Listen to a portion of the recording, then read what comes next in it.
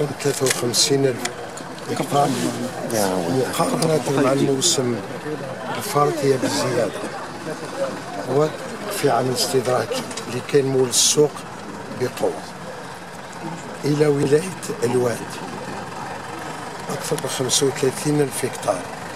راح يتم جن الطحاوي إذا كميات جد معتبرة راح تبدأ تلتحق بالأسواق الجملة.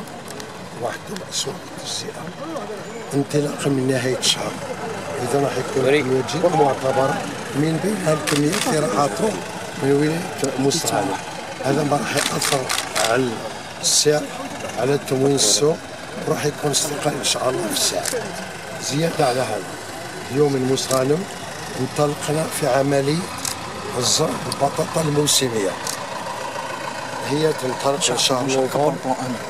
إلى يعني حتى الجوية في المناطق المتأخرة البرنامج تاعنا العام هو 73 ألف هكتار بزيادة أكثر من 10000 هكتار مقارنة مع الموسم آه، 23 24 إذا هذا راح يضمن يعني تموين السوق بصفة مستمرة مستقرة وبالكميات اللازمة